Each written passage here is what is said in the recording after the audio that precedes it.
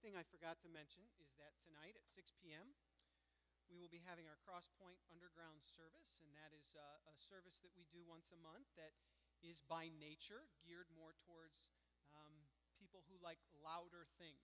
Let's just say it that way. And so um, that would be tonight at 6 p.m. in the Fellowship Hall. There'll be a dinner uh, where we take donations to cover the dinner, hopefully, and uh, then we have we have a time of singing, we have a time of preaching, and we enjoy our time together. So if you know someone who might enjoy that, or if you yourself would like to come, you're more than welcome to be here tonight.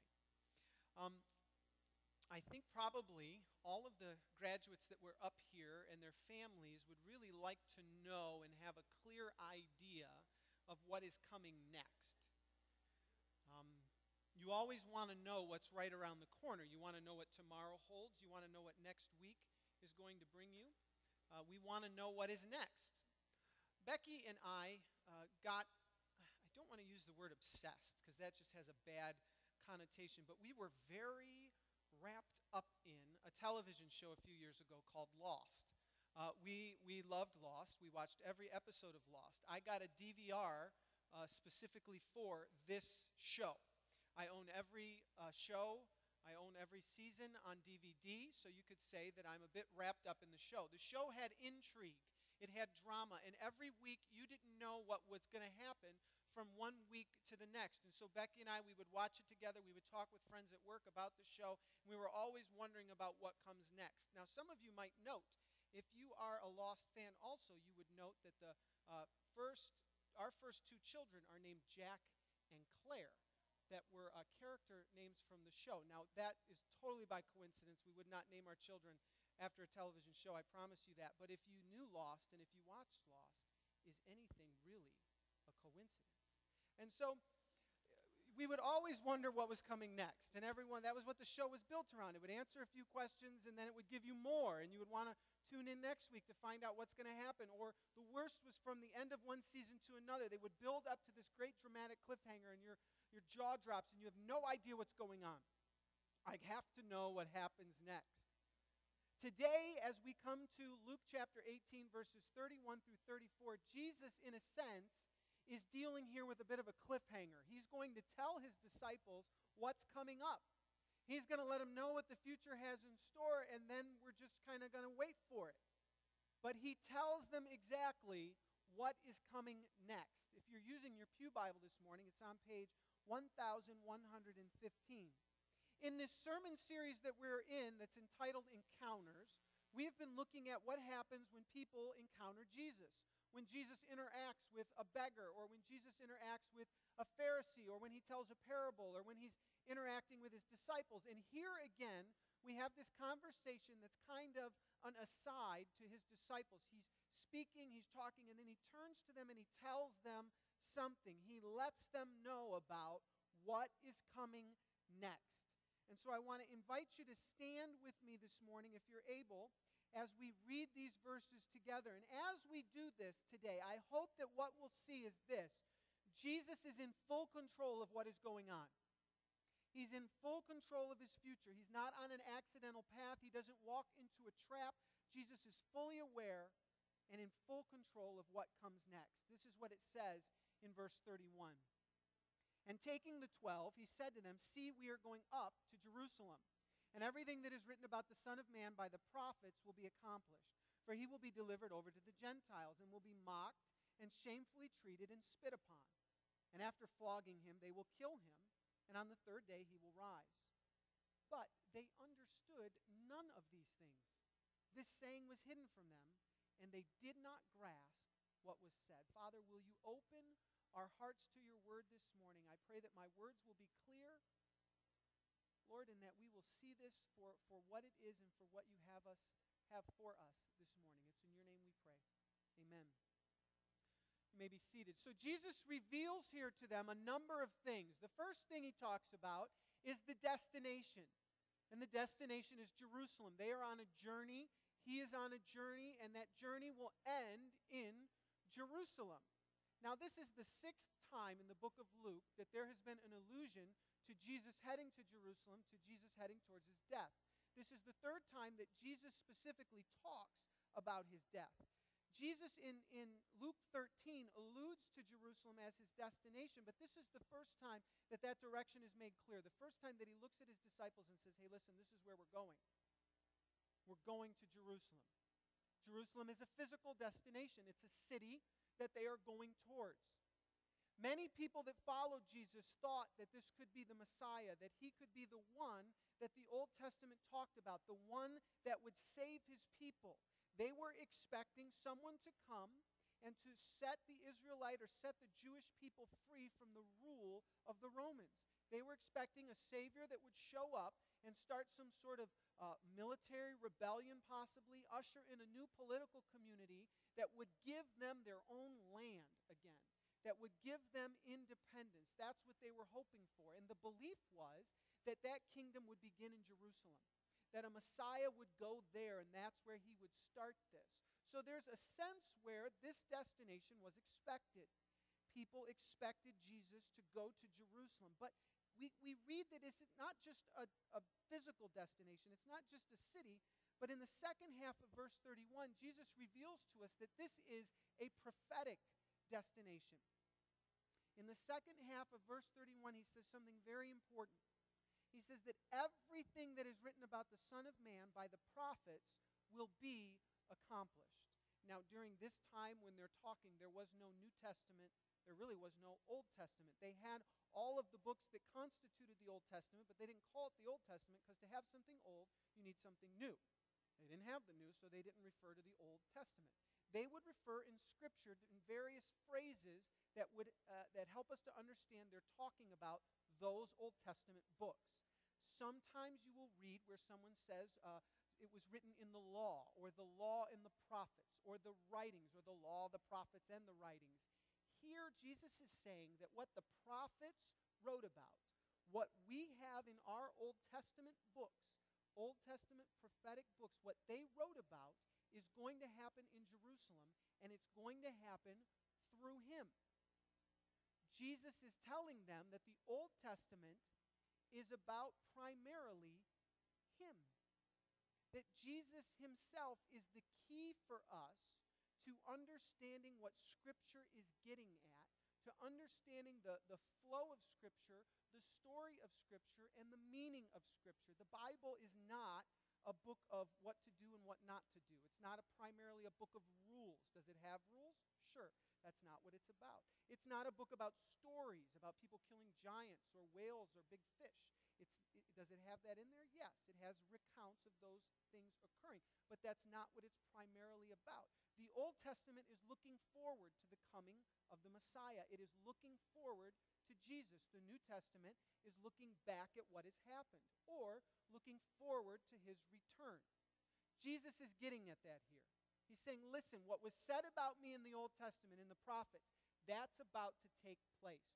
You see, when we take Jesus out of the Bible, we miss the point. We can't take Christ from Scripture and hope to get what is really here. One of the books that has helped me to understand that better is a book that I read with my children called the Jesus Storybook Bible. Uh, we read this during family devotions. Now, whatever picture you have of the Copeland family having family devotions, throw it out, okay? Sometimes it ends with green beans on the wall. Uh, sometimes my face is red with anger.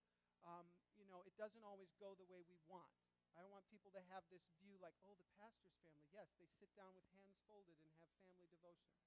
No, no, no, no. Okay, that is not how it goes. There are times when Becky, who will say, Becky's the better one. She's like, shouldn't we do devotions now? And I'm like, oh, should we? You know, they always want to get rambunctious and stuff, and I'm trying to tell them about good things, and then, so this is one of the books, however. So pray for me, all right? Pray for my family. When you have your family devotions, you all can pray for my family. All right, so, so this is a book that we go through, and the introduction is one of the best parts. It says, no, the Bible isn't a book of rules or a book of heroes. The Bible is most of all a story, capital S. It's an adventure story about a young hero who comes from afar to win back his lost treasure. It's a love story about a brave prince who leaves his palace, his throne, everything to rescue the one he loves. It's like the most wonderful of fairy tales that has come true in real life. You see, the best thing about this story, capital S, is it's true. There are lots of stories, small s, in the Bible, but all the stories are telling one big story the story of how God loves his children and comes to rescue them. It takes the whole Bible to tell this story. And at the center of the story, there is a baby. Every story in the Bible whispers his name. He is like the missing piece in a puzzle, the piece that makes all the other pieces fit together, and suddenly you can see a beautiful picture. Jesus is telling the disciples that he is that puzzle piece. He is that, that figure that fits together to help them understand better what Scripture is getting at in the Old Testament.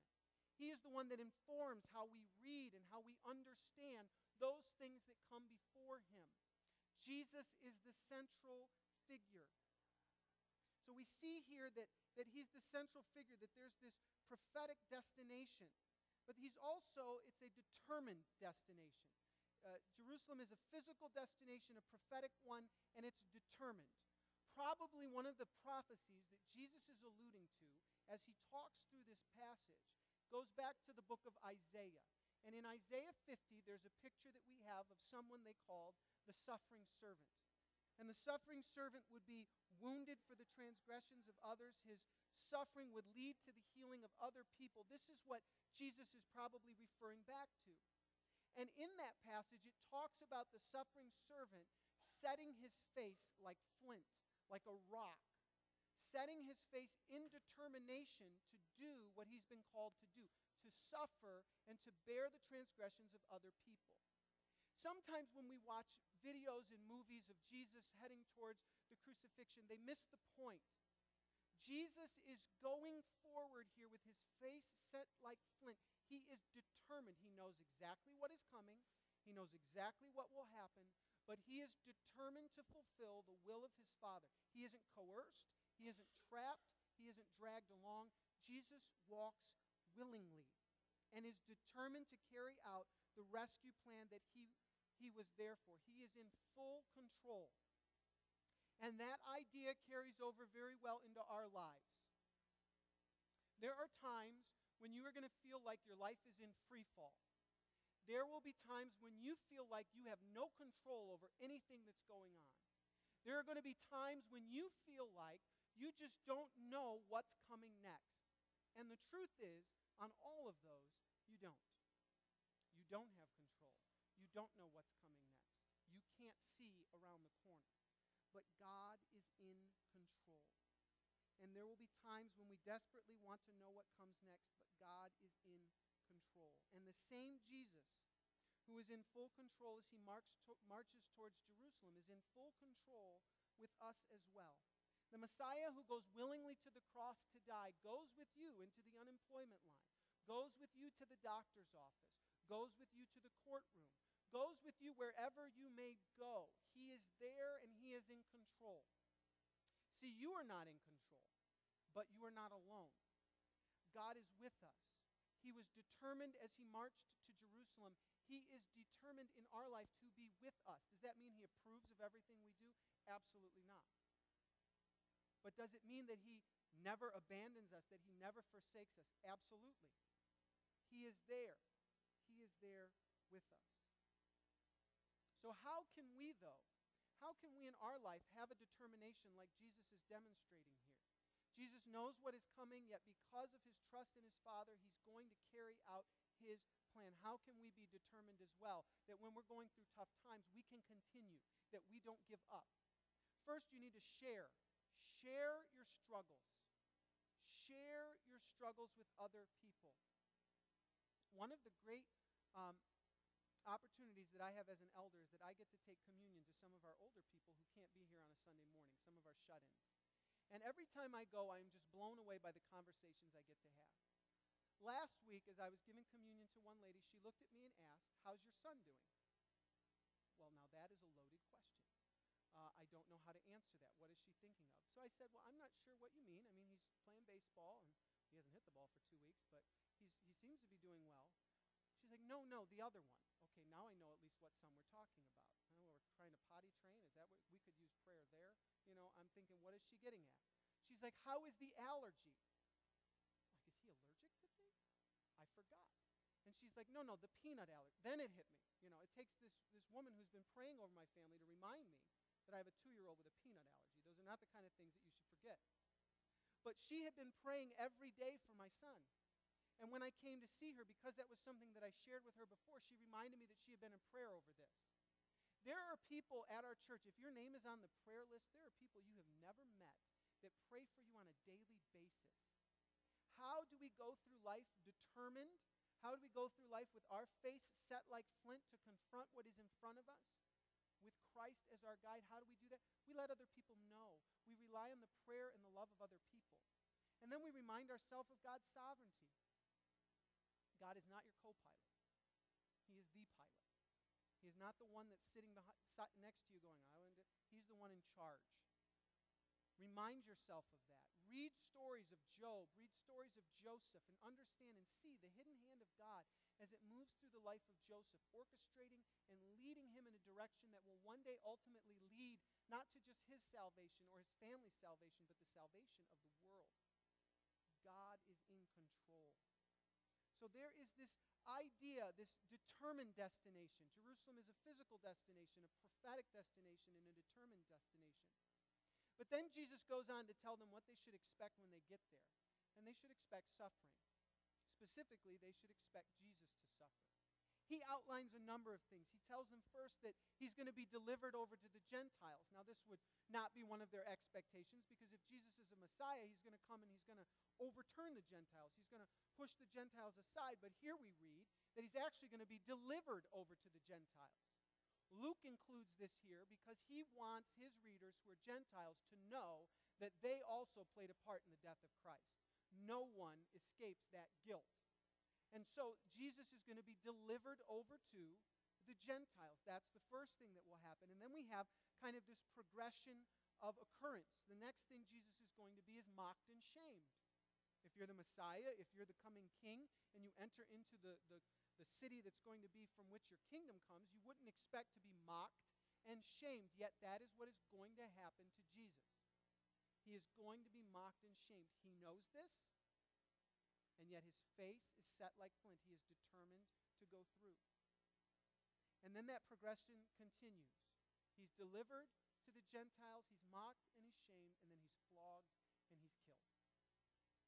We're going to have plenty of time in the coming weeks and months to deal with this greater when it actually happens in the book of Luke.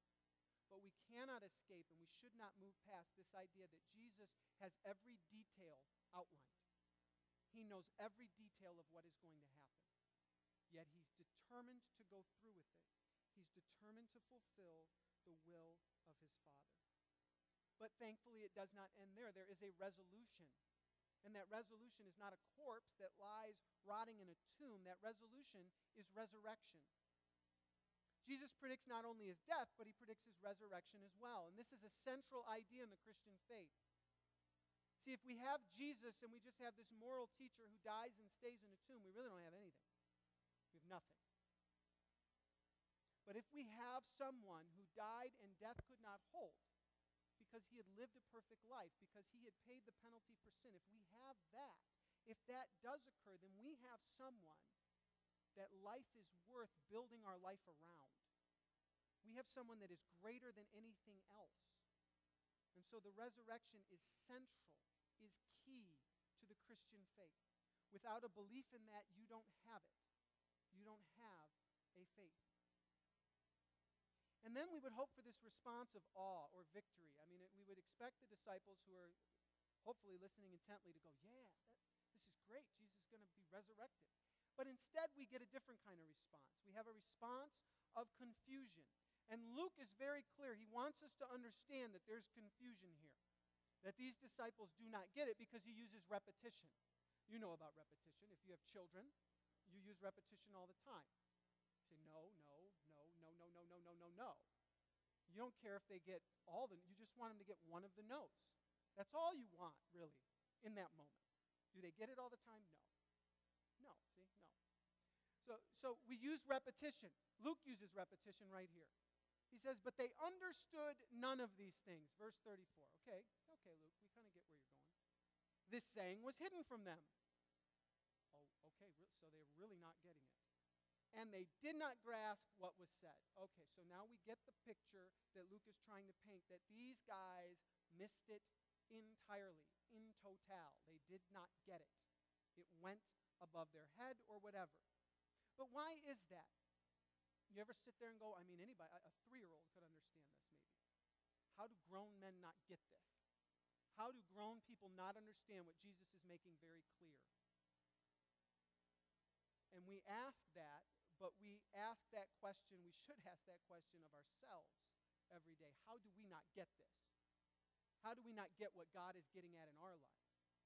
Robert Stein suggests four different reasons why they may not have gotten it. The first being uh, that that the idea of a suffering Messiah was too difficult for them to accept. That maybe they had been groomed from childhood and they had come to really expect something specific. And so when, when Jesus shattered that paradigm, when Jesus didn't fit what they were looking for, they just didn't understand. It didn't go into their, their line of thinking. It's like trying to put uh, something square into a round peg, it just couldn't go. They couldn't grasp. It could be that they just didn't see how the death of the Messiah fulfilled anything in the Old Testament.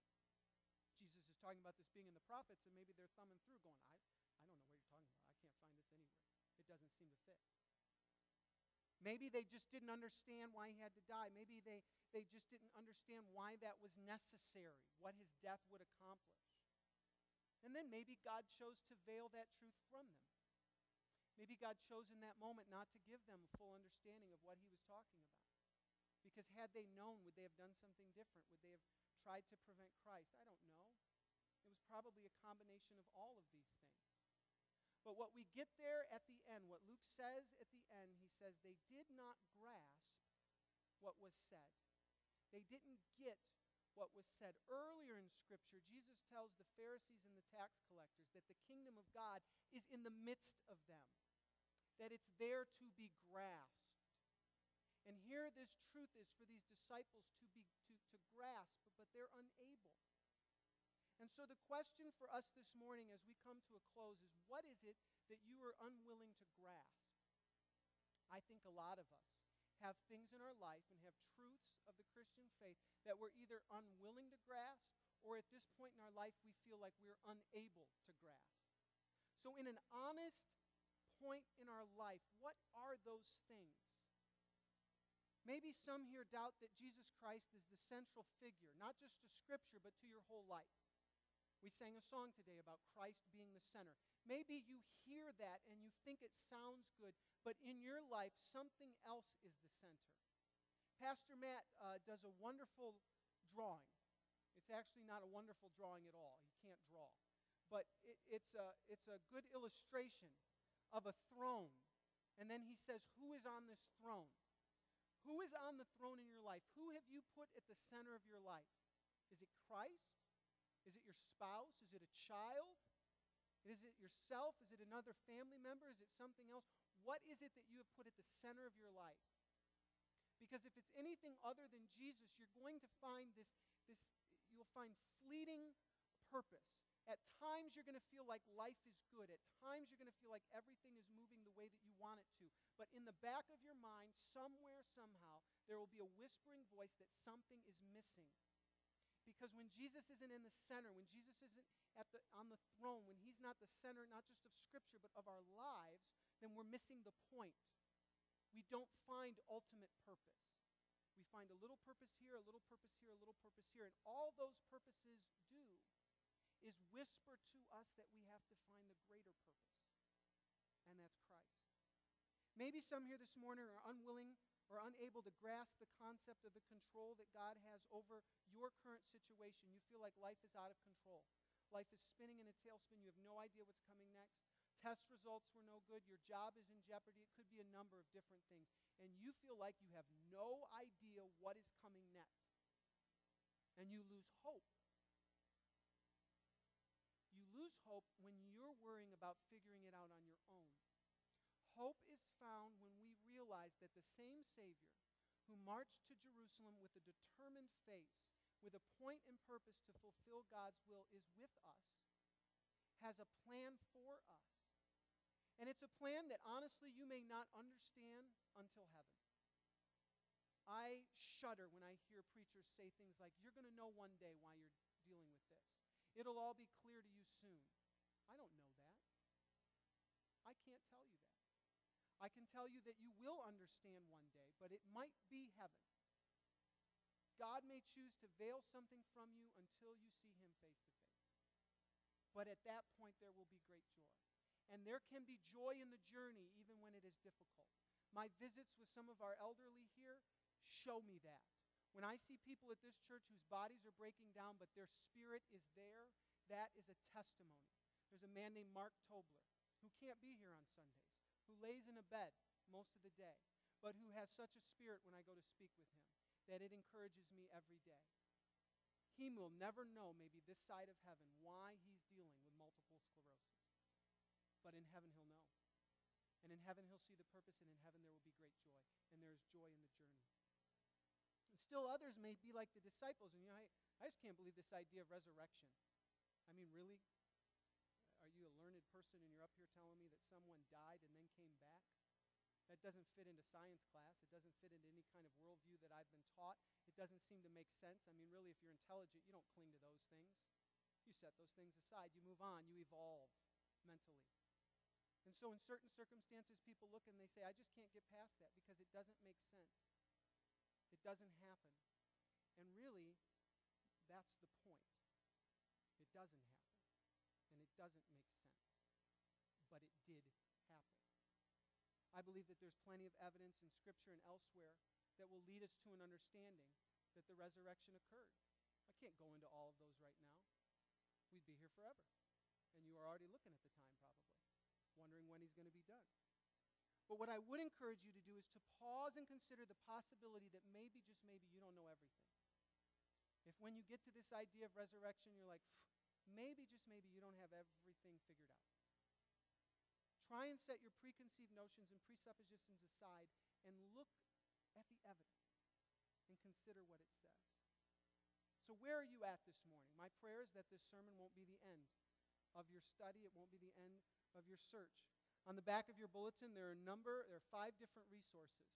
We have things from children's books to YouTube videos to academic books on the back. I tried to run the whole gamut. If you don't like to read, listen. If you don't like to read adult books, pick up the kids' book. Just say, I'm looking at it for a friend. All right? Whatever you need to do. These are good resources that will help you in your search. These are good resources that will help you to dig deeper. As I told the students earlier, my plea is for you as well. You never stop reading your Bible, and you should never stop reading good books about the Bible. And so here are some examples of what you can do. You know, to know what comes next in the Gospel of Luke, you only need to read the next passage. You only need to turn the page. You only need to read the rest of the book. You can go home and do that today. But to know what comes next in our life, there's no way for us to do that. I don't know what's going to happen to you when you leave here. I don't know what's going to happen to you when you go home. But I do know that God knows.